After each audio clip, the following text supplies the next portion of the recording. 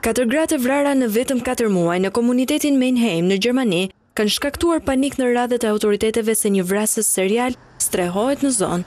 Viktimat janë vrarë në një rreze prej njëzet kilometrash ndërsa e fundit u gjet në fillim të kësaj jave. Trupi pa jetë u gjet në një shtek pylli dhe ishte një grua e moshës pesëdhjetë e një vjeç.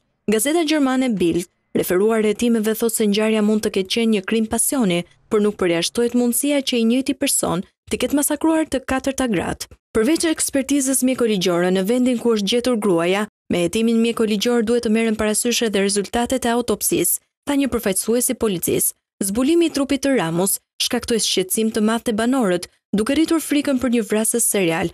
Vetëm katër javë më parë, një tridhjetë e gjashtë vjeçare, nënë e dy fëmijëve, Ishte goditur me thikë për vdekje. Trupi u gjet po në një pyll, po mes pemëve, vetëm njëzet kilometra nga ngjarja e fundit.